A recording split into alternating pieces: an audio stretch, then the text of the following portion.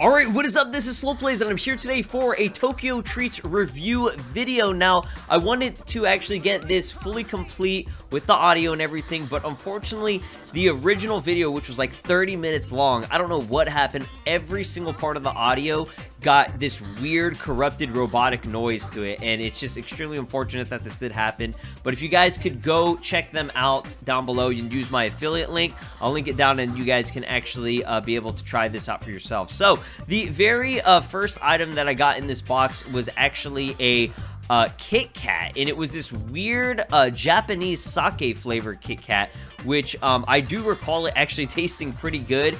It had a very fragrant, uh, sort of almost like perfumey type of flavor, but I thoroughly enjoyed it. I thought it tasted pretty good, so um, I would highly recommend uh, out of all of these trying to uh, you know have an open mind and heart about all this stuff um, unfortunately it got all melted as you can see and I do a little smell test and it was like I said it was very intense uh, perfume fragrant potent sort of smell uh, the description I'm using is probably not the best, but um, if you if you try it yourself, you'll you'll know what I mean. It's very hard to describe the flavor, but um, I was pretty surprised by the flavor. It tasted I mean, it tasted damn good to me. I, I actually thoroughly enjoyed it, man. But, dude, just kind of looking back at it, it's weird always seeing your own reactions to food and stuff whenever, you know, you're seeing yourself doing it and not actually doing it at that time.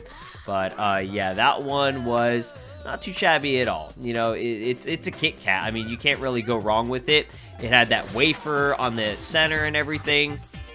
You know, it was just that outer coating that was all melted, but it was very creamy uh, overall. The second item on my list was actually this like cabbage flavored popcorn. And I'm to be honest, it was surprising to see that it was actually by Frito-Lay. I did not know that Frito-Lay made uh, Japanese popcorn. That, that I don't know. I mean, I guess I guess anything could make anything nowadays. You know what I mean? it's it's 2020. Literally anything can happen. But uh, the smell, it just smelled like literally regular popcorn, and it tasted like regular popcorn. I don't recall it really having much of a uh, strong flavor. It had like a powder kind of on it. It was very hard to see, but it was like an almost like yellowish orange powder, and it kind of just reminded me uh, more of like you know that white cheddar smart pop that you would get at school or that they sell at the store that's already you know pre-packaged and bagged and everything. It has that kind of almost weird sogginess to it, which I actually do enjoy. It's pretty good, but um, yeah, you can tell from my reaction, I was just kind of like, eh, just tastes like regular popcorn. Was bad by no means. It was amazing. It was, uh, you know, just regular popcorn, which I do enjoy, but didn't taste like cabbage by any means. But it said Mike on there, which I was like, what? what? Mike? Mike brand? I guess. I guess that's the brand. But yeah, not too bad. Item number three on the list was actually delicious. So this was something that was kind of in the last uh, review that I did, uh, which was uh, Baksu. It was like, I don't, I don't, know, it's very hard to describe. I think it was a rice snack. And, um, or it could have been corn just because it tasted more like a Cheeto. But uh, just the overall look of it, it's like a really long Cheeto with a hollowed center. And uh, the powder on it was this like sweet, spicy, a little bit fishy. It's very umami flavor. You can tell by my reaction. I really, really did enjoy this one. Um, it tasted exactly like the one that I had in the last box. Uh, very good. Uh, I'm glad that I did get to experience the flavor at least once before because um, I probably would have been taken off by it a little bit, kind of like, whoa, because it's got a lot of different flavors. It's salty, uh, it's more sweet than anything. Like, at first I thought it was like cinnamon, but I smelled it and I was like, okay, that smells literally like uh, Cheeto Puff. So best way to describe it, it's a Cheeto Puff that's like massive. It's a gigantic cylindrical tube thing. but uh, the hollowed center part, not sure why they do that. Uh, that's kind of weird. Uh, I would prefer just one, you know, huge thing, but pretty good. Item number four, this thing was like a weird like chocolate bar. Uh, that was definitely rice. I do recall it being rice. It was um, weird because it had this like peanut guy on there. this is a peanut dude with the little backwards hat on. Uh, but this one, yeah, it was so light and fluffy on the inside. It wasn't like Three Musketeers or anything. Not that kind of like, you know, weird moose thing. But no, it was definitely uh, some type of rice uh, in the center of it, and it was coated with chocolate. It almost had a nuttiness to it. I assume it had maybe some peanut butter in it, but I couldn't really tell because it was a very faint flavor. The chocolate was extremely overpowering, uh, very creamy. Everything in this box that was more desserty based uh, was pretty creamy, and I, I'm, I'm, you know, pretty satisfied by that. I'm glad that they actually, you know, made it very very uh, unhealthy for you but i mean it's candy it was it was delicious my reaction to it you could tell i was like that was uh whew, yeah i said it right there i remember i said it's it's sweet it's definitely got a ton of sugar in it but um i mean it's candy what do you expect i was a big fan the next item on my list it was very hard to take out because everything got melted and i was a little bit disappointed by that but it was just a gummy burger Literally, you can tell from my reaction. If you ever had, you know, Krabby Patty burger candies or whatever from SpongeBob, it's exactly the same thing. It just has like an orange and fruity flavor. Pretty much it. Very, very basic. Next up here was probably my favorite thing out of everything on the list. It was these, uh, again, these like Cheeto Puff ball things. Uh, I guess you could call them like Cheetos asteroids or cheese balls, whatever you want to call them. They were these big puffs, and I didn't understand this, like the seasoning on, on the very top from appearance, but ooh, man, my reaction. If you guys like Indian food or any type of South Asian food, you will love this. This is the best thing in my opinion. Uh, tons of like, I guess, Indian inspired spices, which had, uh, I guess, like almost like a turmeric flavor, cardamom, cardamom or whatever it is that's inside of it. Um, just Really, really heavily spiced flavor. It was delicious. Best thing on the list by far. Next thing here was, again, it was all melted and very hard, but, uh, you know, it, it, was a jelly green apple sort of candy thing. Um, I've had these at Vietnamese stores before. They're pretty good. Again, just a fake artificial apple flavor. Nothing too exciting, but decent. Next up here was another candy. Uh, these were kind of almost like Smarties in a way. I think it was like an orangish, citrusy flavor. Uh, it really, really does dissolve in your mouth very quickly, but um, as you can see on my tongue, it was uh, it was pretty good. I mean, most of the candies I've I've pretty much had all these before, pretty basic. All right, so this one was actually pretty cool. It had this like illustration of a dude boxing. I'm not entirely sure why, but maybe it's based on like uh, that cartoon or whatever that anime is uh, depending on if it was a cartoon or I don't know. I guess in Japan it's all just anime, I guess. But uh, no, excuse my ignorance. Um, I think this was ramen, like little ramen, dried ramen uh, snacks or whatever. Pretty sure it was a type of like floury noodle thing. It's almost like the noodles that they put on top of, uh, I guess like your entrees or whatever you eat at like an Asian restaurant. Uh, it was it was pretty good. It was like a, just a very savory flavor. Don't recall it really being super intense, but I liked it. Next up here was actually a very adorable packaging on it. Um, I believe it was Hello Kitty, if I'm not mistaken. So uh, basically, it had three different flavors. I'm assuming like a cherry, a strawberry, and an orange. So these are actually pretty good. They just, I'm gonna be honest, they just tasted like regular hard candies. Reminding me of uh, citrus vitamin C drops that you get like from Halls or whatever. Uh, that'd be good for your throat, I guess. They're, they're just like lozenges. Pretty good though. I mean, very decent flavor. The orange was obviously the best because orange usually tastes pretty good even if it's artificial. But yeah, again, very standard. All the candies were just like kind of, eh, you know, I've tried it before. Pretty good. All right, so this one right here was actually delicious. Uh, probably, I want to say my, maybe my second or third favorite. Definitely in the top five out of all these because there were a lot of snacks. Um, there were these triangular crackers and they reminded me of, uh, I think it's, is it Nabisco's brand or whatever? Just that kind of like trademark brand in general. And uh, these, the flavor, uh, the very first thing that hit me with it was a very sweet flavor. And um, it almost tasted like if you ever had garden vegetable Ritz. That was exactly, exactly the flavor. It even showed on the picture it was like an onion and like a tomato on it, and like a carrot. It was pretty good. I really, really did like that. Would go great with some like spinach dip or something like that. That was good. That was a good one. So this one right here was another cracker, Porrique, Por Porrique.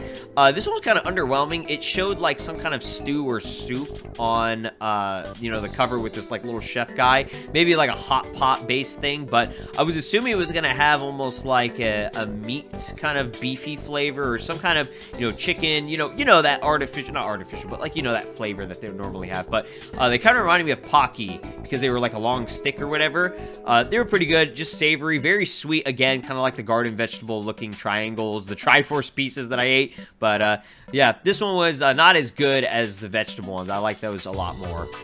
Okay, so this one right here was awesome. All right, so there's like this little character on there. I'm not sure exactly what that was, but the smell was absolutely intense. It smelt like shrimpy, fishy, oceany kind of smell, and I'm pretty sure they were like little mini shrimp chips. If you ever had shrimp chips from like a Vietnamese store, um, I think you would have liked this one. I thought it was pretty good though. I actually do like that flavor. Um, again, it has, you know, the shrimpy fishiness does add that umami, and then I found like a piece of like string on my arm or whatever. but yeah, uh, the inside of it, it almost had like they were like these like three-dimensional shapes or whatever. I like the shape of it. It was very unique and cool, but yeah, I really, really did like that. I gave it the, the A okay. All right, next up here was the worst thing on the list, in my opinion. I did not like this one very much. Uh, the very outside of it was pretty good. It was creamy. Uh, I feel like the flavor was decent, but the main issue with it was the inside was gummy based. And I don't know who thought that was a good idea, but they came in these uh, other like individually wrapped packages or whatever, and it was like the weirdest thing ever. It crumbled. It was like crumbling apart like the outside of it and then like oh god just looking at it again. There were like these like little yeah it's like a very very intense chocolatey flavor so i tried to bite the outside and then i saw that there was that gummy center and it was just yeah you can just tell from my face i was not a fan of this one. Probably like i said the worst one on the list. Um again none of it was uh like disgusting flavored. I thought flavor wise everything was pretty good but consistency wise on this one, uh, I don't know about that. Maybe you guys might like uh, that weird gummy thing, but um, it just tasted super, super artificial, and it was uh, just not a good combination of, I guess, textures on that. That was a, a yikes for me. All right, so this one was pretty cool. It was like the brand, I guess, Cream Collon, Collon or something like that. Again, this one was a type of Sakura Blossom, Japanese sake type of thing. Um, it was, again, very unique flavor. Tasted almost near exactly like the Kit Kat in a way, but um, it was like a little cookie, kind of reminded me like the packaging was like this metallic rose, Super Saiyan rose packaging, but uh, it had like a green outside and a pink inside, and it kind of reminded me of like appearance-wise, it reminded me of like a combo. If you had a, ever had a combo where it's like the pretzel outside and like the cheesy inside or whatever, I really did like that one. It was pretty good, uh, very unique flavor. Uh, reminded me of that Kit Kat a lot, but yeah, pretty solid and um, intense, fragrant flavor once again. Very perfumey. All right, so this one came in a gargantuan package. Like, it was huge. Like, that was probably the best value out of everything in there. Um, by the brand Nissin or Nissin, Nissin, I, am not sure how you pronounce that. I've uh, seen that at Asian stores and probably um, whenever my uncle, he went to Japan, he brought some things back and some candies. I think he did bring back that Nissin. I do recall that brand. But uh, not only does it come in a big package, but it's a pack of four. So there's Inside there four different individually wrapped packages with five different crackers slash cookies. I think they, they were cookies on on like the inside or whatever. But um, they kind of remind me again of that like Nabisco brand, uh, just like the overall thickness of it very, very uh, moist kind of cracker. Now, the very top, I know it kind of looks like it's like oily or some kind of moisture at the very top. It's not. It's actually a glaze, like a type of sugary glaze on it. And it was uh, very, very sweet. Reminded me of almost like a vanilla-ish kind of flavor. So it had like uh, almost like that, you know, basic vanilla flavor. It was actually, I think, advertised to be a green tea flavor, but didn't really taste like that at all in my opinion, but I mean, it was still solid, very sweet. I enjoyed it. All right, so I saved the best for last. This was probably uh, one of the cooler ones that I really, really wanted to try. And unfortunately, I couldn't do it frozen just because um, I was trying to get all this into one video. And I didn't really have a lot of time to freeze that. But uh, basically, it was a Coca-Cola uh, lemon flavor. So a cola and lemon flavor combination on this one. I thought it was pretty dang good. I'm not to lie.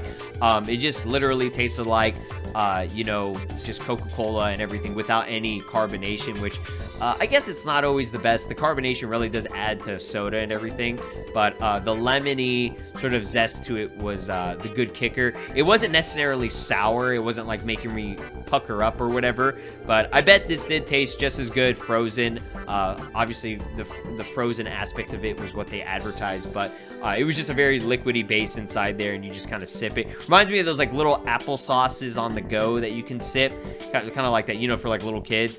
But um, I'm assuming, you know, it, it would have tasted probably just as good, if not a little bit better, uh, frozen. But yeah, flavor-wise was delicious. I, I give it a thumbs up.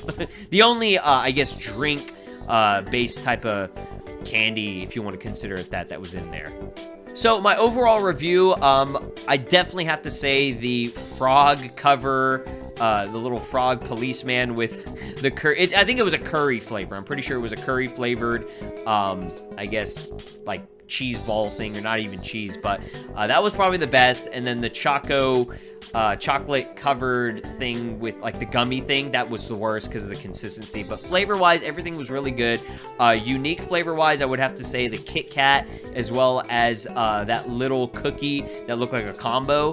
Those uh, were probably the most unique flavors. Very fragrant, um, acquired taste that you have to kind of enjoy. But overall, um, delicious. I loved all of it. And uh, hopefully you guys can try this out for yourself. Again, big shout outs to Tokyo Treats for coming through and uh, sponsoring and partnering up with me for this video. Do apologize again for the audio getting all screwed up. I wish it didn't happen, but you know, stuff like that does happen. So use my affiliate link down below if you want to try this out for yourself. I do recommend um, always kind of, you know, broadening the horizons and going out of your way just to try out some new uh, delicious treats and stuff. Uh, I think it's a cool experience overall. So shout out to Japan. Much love to them. And I hope you guys enjoyed the video. Leave a like, subscribe, ring that notification bell for more content coming your way. Have a good one. Peace.